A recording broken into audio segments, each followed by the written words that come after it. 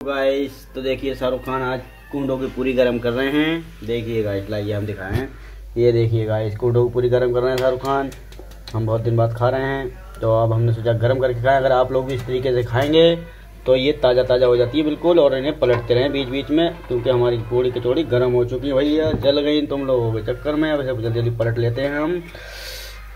तो गाइस शाहरुख खान का हाथ भी जल चुका है थोड़ा सा चिमटा किधर है भैया। ज़्यादा शाहरुख खान बनो मत।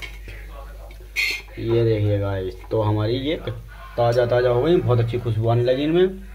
ये कुंडों की पूरी हैं, मदार साहब के महीने में बनती है गाइस आप लोग भी ट्राई करें और बना के देखें, स्वादिष्ट। अगर आपके घर में रखी हैं तो उन्हें ऐसे गर्म करके खाएँ।